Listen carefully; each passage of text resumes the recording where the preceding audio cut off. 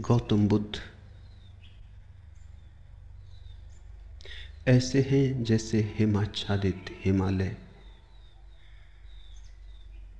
पर्वत तो और भी हैं। हिमाच्छादित पर्वत और भी हैं। पर हिमालय अतुलनीय है। उसकी कोई उपमा नहीं। हिमालय बस हिमालय जैसा है। गौतम बुद्ध, बस गौतम बुद्ध जैसे। पूरी मनुष्य जाति के इतिहास में वैसा महिमापूर्ण नाम दूसरा नहीं। गौतम बुद्ध ने जितने हृदयों की वीणा को बजाया है, उतना किसी और ने नहीं। गौतम बुद्ध के माध्यम से जितने लोग जागे और जितने लोगों ने परम भगवत्ता उपलब्ध की है उतनी किसी और के माध्यम से नहीं। गौतम बुद्ध की वाणी अनूठी है और विशेषकर उन्हें जो सोच, विचार, चिंतन, मनन, विमर्श के आदि हैं।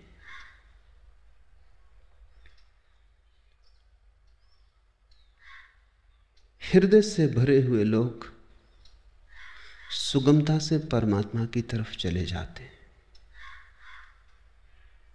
लेकिन हृदय से भरे हुए लोग कहाँ हैं? और हृदय से भरने का कोई उपाय भी तो नहीं है। हो तो हो, न हो तो न हो। ऐसी आकस्मिक, नैसर्गिक बात पर निर्भर नहीं रहा जा सकता। बुद्ध ने उनको चेताया, जिनको चेताना सर्वाधिक कठिन है। विचार से भरे लोग, बुद्धिवादी, चिंतन मननशील। प्रेम और भाव से भरे लोग तो परमात्मा की तरफ़ सरलता से झुक जाते हैं, उन्हें झुकाना नहीं पड़ता। उनसे कोई ना भी कहे तो भी वे पहुँच जाते हैं, उन्हें पहुंचाना नहीं पड़ता।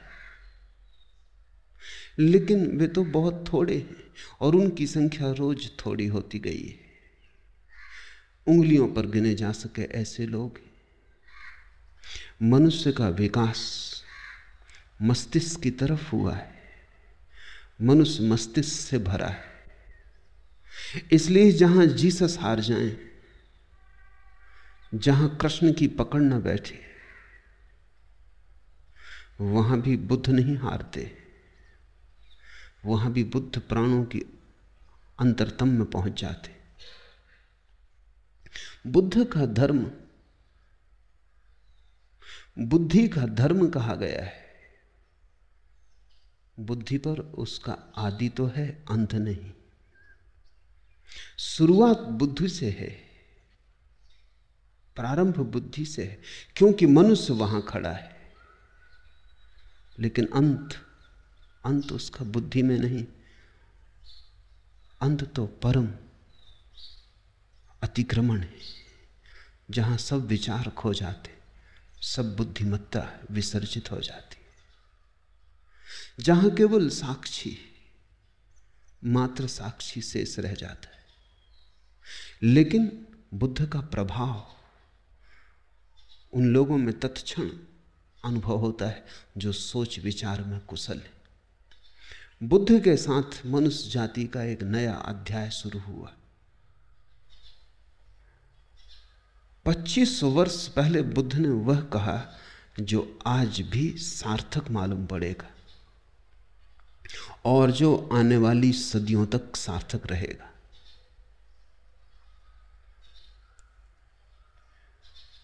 बुद्ध ने विश्लेषण दिया एनालिसिस दी। और जैसा सूक्ष्म विश्लेषण उन्होंने किया, कभी किसी ने ना किया था और फिर दोबारा कोई ना कर पाया। उन्होंने जीवन की समस्या के उत्तर शास्त्र से नहीं दिए, विश्लेषण की प्रक्रिया से दिए। बुद्ध धर्म के पहले वैज्ञानिक उनके साथ श्रद्धा और आस्था की ज़रूरत नहीं उनके साथ तो समझ पर्याप्त है। अगर तुम समझने को राज़ी हो तो तुम बुद्ध की नौका में सवार हो जाओगे। अगर श्रद्धा भी आएगी तो समझ की छाया होगी। लेकिन समझ के पहले श्रद्धा की मांग बुद्ध की नहीं। बुद्ध ये नहीं कहते कि जो मैं कहता हूँ भरोसा कर लो। बुद्ध कहते हैं, सोचो, विचारो, विश्लेषण करो, खोजो, पाओ अपने अनुभव से तो भरोसा कर लेना। दुनिया के सारे धर्मों ने भरोसे को पहले रखा है, सिर्फ़ बुद्ध को छोड़कर। दुनिया के सारे धर्मों में श्रद्धा प्राथमिक फिर ही कदम उठेगा। बुद्ध ने कहा, अनुभव प्राथमिक है, श्रद्धा आनुषांगिक है। अनुभव होगा तो श्रद्धा होगी, अनुभव होगा तो आस्था होगी। इसलिए बुद्ध कहते हैं, आस्था की कोई ज़रूरत नहीं है। अनुभव के साथ अपने से आ जाएगी, तुम्हें लानी नहीं। और तुम्हारी लाई हुई आस्था का मूल्य भी क्या हो सकता है? तुम्हारी लाई आस्था के पीछे भी छिपे होंगे, तुम्हारे संदेह तुम आरोपित भी कर लोगे विश्वास को तो भी विश्वास के पीछे अविश्वास खड़ा होगा। तुम कितनी ही दृढ़ता से भरोसा करना चाहो, लेकिन तुम्हारी दृढ़ता कपती रहेगी। और तुम जानते रहोगे कि जो तुम्हारे अनुभव में नहीं उतरा है, उसे तुम चाहो भी तो भी कैसे मान सकते हो? मान भी लो तो भी कैसे मान सकते हो? तुम्हारा ईश्वर कोरा शब्द जाल होगा, जब तक अनुभव की किरण न उतरी हो। तुम्हारे मोक्ष की धारणा मात्र शाब्दिक होगी। जब तक मुक्ति का थोड़ा स्वाद तुम्हें ना लगा हो। बुद्ध ने कहा, मुझ पर भरोसा मत करना। मैं जो कहता हूँ, उस पर इसलिए भरोसा मत करना कि मैं कहता हूँ। सोचना। विचारना, जीना तुम्हारे अनुभव की कसौटी पर सही हो जाए तो ही सही है। मेरे कहने से क्या सही होगा?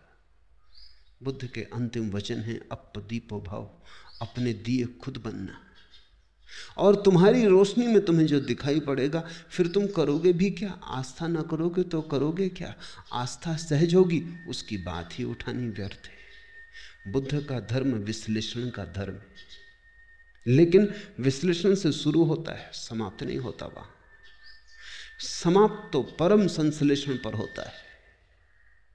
बुद्ध का धर्म, संदेह का धर्म है, लेकिन संदेह से यात्रा शुरू होती है, समाप्त नहीं होती। समाप्त तो परम श्रद्धा पर होती। इसलिए बुद्ध को समझने में बड़ी भूल हुई, क्योंकि बुद्ध संदेह की भाषा बोलते तो लोगों ने समझा, ये संदेहवादी है। हिंदू तक न समझ पाए जो ज़मीन पे सबसे ज़्यादा पुरानी कौम बुद्ध निश्चित ही बड़े अनूठे रहे होंगे, तभी तो हिंदू तक समझने से चूक गए। हिंदुओं तक कोई आदमी खतरनाक लगा, घबराने वाला लगा। हिंदुओं को भी लगा कि ये तो सारे आधार गिरा देगा धर्म के। और यही आदमी है जिसने धर्म के आधार पहली दफ़ा ढंग से रखे। श्रद्धा पर भी कोई आधार रखा जा सकता है। अनुभव पर ही आधार रखा जा सकता है। अनुभव की छाया की तरह श्रद्धा उत्पन्न होती। श्रद्धा अनुभव की सुगंध है। और अनुभव के बिना श्रद्धा अंधी है। और जिस श्रद्धा के पास आँख ना हो, उससे तुम सत्य तक पहुँच पाओगे। बुद्ध ने बड़ा दुस्साहस किया। बुद्ध जैसे व्यक्ति पर भरोसा करना एकदम सुगम होता है। उसके उठने बैठने में प्रमाणिकता होती है। उसके शब्द शब्द में वज़न होता है। उसके होने का पूरा ढंग स्वयं सिद्ध होता है। उस पर श्रद्धा आसान हो जाती है। लेकिन बुद्ध ने कहा, तुम मुझे अपनी बैसाखी मत बनाना। तुम अगर लंगड़े हो, मेरी बैसाखी के सहारे चल लिए कितनी दूर चलोगे, मंजिल तक न पहुँच पाओगे। आज मैं साथ हूँ, कल मैं साथ न रहूँगा, फिर तुम्हें अपने ही पैरों पर चलना है। मेरी रोशनी से मत चलना, क्योंकि थोड़ी देर को संग साथ हो गया है अंधेरे जंगल में। तो मेरी रोशनी में थोड़ी देर रोशन हो लोगे, फिर हमारे रास्ते अलग हो जाएँगे। मेरी रोशनी मेरे साथ होगी, तुम्हारा अंधेरा तुम्हारे साथ होगा। अपनी रोशनी पैदा करो, अप दीपो भव। ये बुद्ध का धम्म पद कैसे वो रोशनी पैदा हो सकती है अनुभव की, उसका विश्लेषण है। श्रद्धा की कोई मांग नहीं है। श्रद्धा की कोई आवश्यकता भी नहीं है। इसलिए बुद्ध को लोगों ने नास्तिक कहा। क्योंकि बुद्ध ने यह भी नहीं कहा कि तुम परमात्मा पर श्रद्धा करो। तुम कैसे करोगे श्रद्धा? तुम्हें पता होता तो तुम श्रद्धा करते ही, तुम्हें पता नहीं है। इस अज्ञान में तुम कैसे श्रद्धा करोगे? और अज्ञान में तुम जो श्रद्धा बाँध भी लोगे, वो तुम्हारी अज्ञान के ईंटों से बना हुआ भवन होगा। उसे तुम परमात्मा का मंदिर कैसे कहोगे? वो तुमने भय में बना लिया होगा। मौत डराती होगी, इसलिए सहारा पकड़ लिया होगा। यहाँ ज़िंदगी हाथ से जाती मालूम होती होगी, इसलिए स्वर्ग की कल्पनाएँ कर ली होंगी। लेकिन इन कल्पनाओं से, भय पर खड़ी हुई इन धारणाओं से कहीं कोई मुक्त हुआ है? इसी से ही तो आदमी पंगु है, इससे ही तो आदमी पक्षाघात में दबा है। इसलिए बुद्ध ने ईश्वर की बात नहीं की। एच जी वेल्स ने बुद्ध के संबंध में कहा है कि पृथ्वी पर इस जैसा ईश्वरीय व्यक्ति और इस जैसा ईश्वर विरोधी व्यक्ति एक साथ पाना कठिन। So god like and so godless अगर तुम ईश्वरीय प्रतिभाओं को खोजने निकलो तो तुम बुद्ध से ज़्यादा ईश्वरीय प्रतिभा कहाँ पाओगे? सो गॉडलेस और फिर भी इतना ईश्वर शून्य। ईश्वर की बात ही नहीं की। इस शब्द को ही गंदा माना। इस शब्द का उच्चार नहीं किया।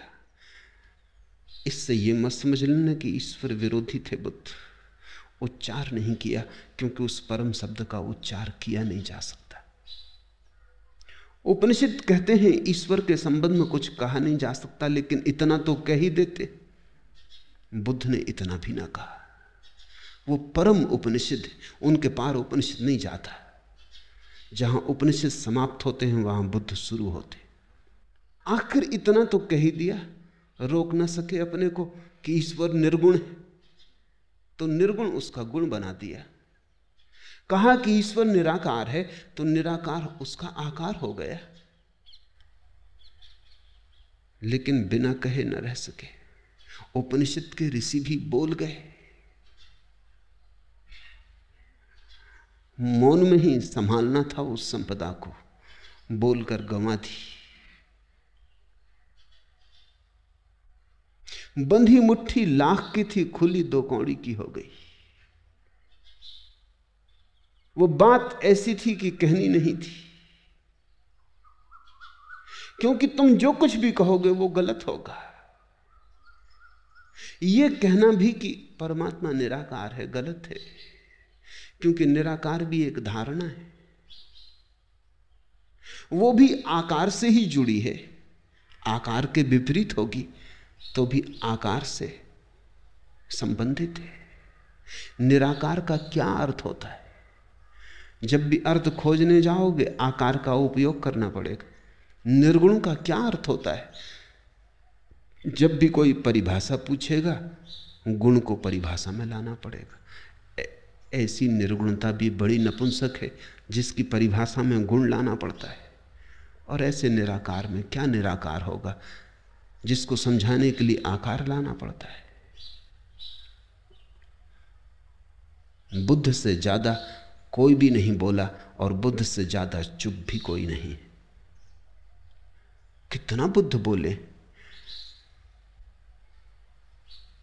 अन्वेषक खोज करते हैं तो वो कहते हैं, एक आदमी इतना बोला, ये संभव कैसे? उन्हें डर लगता है कि इसमें बहुत कुछ प्रक्षिप्त है, दूसरों ने डाल दिया है। कुछ भी प्रक्षिप्त नहीं है। जितना बुद्ध बोले, पूरा संग्रहित ही नहीं हुआ है। खूब बोले और फिर भी उनसे ज़्यादा चुप कोई भी नहीं। क्योंकि जहाँ जहाँ नहीं बोलना था, वहाँ नहीं बोले। ईश्वर के संबंध में एक शब्द ना कहा। इस खतरे को भी मोल लिया कि लोग नास्तिक समझेंगे। और आज तक लोग नास्तिक समझे जा रहे हैं। और इससे बड़ा कोई आस्तिक कभी हुआ नहीं। बुद्ध महा आस्तिक है अगर परमात्मा के संबंध में कुछ कहना संभव नहीं है तो फिर बुद्ध ने ही कुछ कहा, चुप रह के इशारा किया। पश्चिम के एक बहुत बड़े विचारक विटगिंस्टीन ने अपनी बड़ी अनूठी किताब, ट्रैक्टेटस में लिखा है कि जिस संबंध में कुछ कहा ना जा सके, उस संबंध में बिल्कुल चुप रह जाना उचित है। That which can not be said must not be said जो नहीं कहा जा सकता, कहना ही मत, कहना ही नहीं चाहिए। अगर विटगिंस्टीन बुद्ध को देखता तो समझता। अगर विटगिंस्टीन के वचन को बुद्ध ने समझा होता तो मुस्कुराते और उन्होंने स्वीकृति दी होती। विटगिंस्टीन को भी पश्चिम में लोग नास्तिक समझे। नास्तिक नहीं। पर जो कही नहीं जा सकती बात अच्छा है, ना ही कही जाए। कहने से बिगड़ जाती। कहने से गलत हो जाती। लाओस से तक। कहता तो है प्रथम वचन में अपने ताओते किंग में कि सत्य कहा नहीं जा सकता और जो भी कहा जाए वो असत्य हो जाता है। लेकिन फिर भी सत्य के संबंध में बहुत सी बातें कही। बुद्ध ने नहीं कही। तुम कहोगे फिर बुद्ध कहते क्या रहे? बुद्ध ने स्वास्थ्य के संबंध में एक शब्द भी नहीं कहा, केवल बीमारी का विश्लेषण किया और निदान किया, औषधि की व्यवस्था की। बुद्ध ने कहा, मैं एक वैद्य हूँ। मैं कोई दार्शनिक नहीं हूँ। मैं तुम्हारी बीमारी का विश्लेषण करूँगा, निदान करूँगा, औषधि सुझा दूँगा, और जब तुम ठीक हो जाओगे, तभी तुम जानोगे कि स्वास्थ्य क्या है। मैं उस संबंध में कुछ भी ना कहूँगा। स्वास्थ्य जाना जाता है, कहा नहीं जा सकता। बीमारी मिटाई जा सकती है, बीमारी समझाई जा सकती है, बीमारी बनाई जा सकती है, बीमारी का इलाज हो सकता है, सही हो सकता है, गलत हो सकता है, बीमारी के साथ बहुत कुछ हो सकता है। स्वास्थ्य, जब बीमारी नहीं होती, तब जो शेष रह जाता है वही। उस तरफ़ केवल इशारे हो सकते हैं, मौन, इंगित हो सकते हैं। वे भी प्रत्यक्ष नहीं, बड़े परोक्ष। बुद्ध के धर्म को शून्यवादी कहा गया है। शून्यवादी उनका धर्म है। लेकिन इससे यह मत समझ लेना कि शून्य पर उनकी बात पूरी हो जाती। नहीं, बस शुरू होती। बुद्ध एक ऐसे उत्तुंग शिखर है जिसका आखिरी शिखर हमें दिखाई नहीं पड़ता। बस थोड़ी दूर तक हमारी आँखें जाती, हमारी आँखों की सीमा है। थोड़ी दूर तक हमारी गर्दन उठती है, हमारी गर्दन के झुकने की सामर्थ्य और बुद्ध खोते चले जाते हैं, दूर हिमाच्छादित शिखर है, बादलों के पार। उनका प्रारंभ तो दिखाई पड़ता है, उनका अंत दिखाई नहीं पड़ता। यही उनकी महिमा है। और प्रारंभ को जिन्होंने अंत समझ लिया, वो भूल में पड़ गए। प्रारंभ से शुरू करना है। लेकिन जैसे जैसे तुम शिखर पर उठने लगोगे, और आगे और आगे दिखाई पड़ने लगा, और आगे दिखाई पड़ने लगेगा। बहुत लोग बोले, बहुत लोगों ने मनुष्य के रोग का विश्लेषण किया है। लेकिन ऐसा सचोट नहीं। बड़े सुंदर ढंग से लोगों ने बातें कही। बड़े गहरे प्रतीक उपाय में लाए हैं। पर बुद्ध बुद्ध के कहने का ढंग ही और अंदाजे बयां और। जिसने एक बार सुना, पकड़ा गया। जिसने एक बार आँख से आँख मिला ली, फिर भटक ना पाया। जिसको बुद्ध की थोड़ी सी भी झलक मिल गई उसका जीवन रूपांतरित हुआ।